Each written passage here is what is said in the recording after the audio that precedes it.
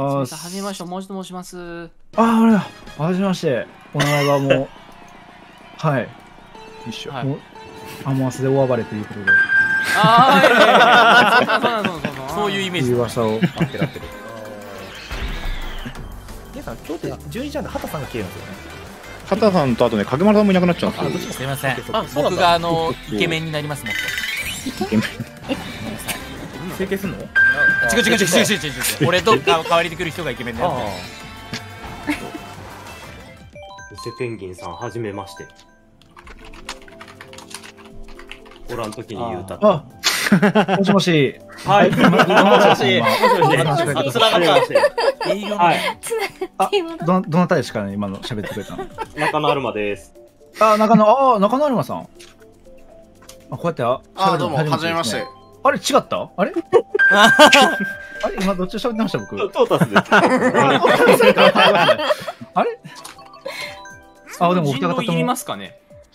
太その田さん部分でのと人狼いります？って、初めましてなんですか？はじめましてやと思う。弟さんはじめまして意外。うん。あそうなんだ。え、あの、昔の記憶とかでもないですか？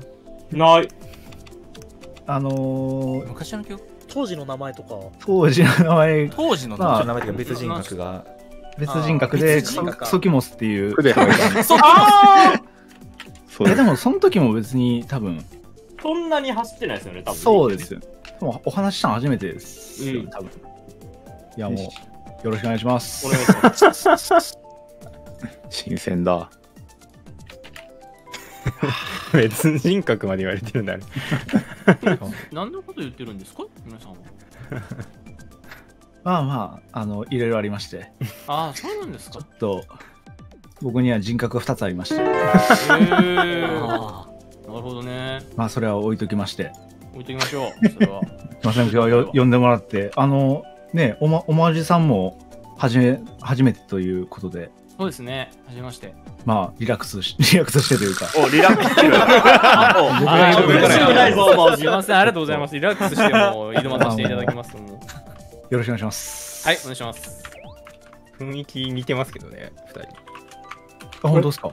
へー人格2つあるしお互いにないよ。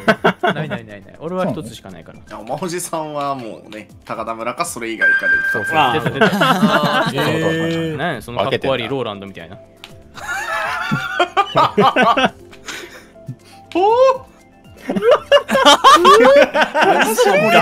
やりづれ。おもれややっぱおじさんやば。いじってるやつや、それ。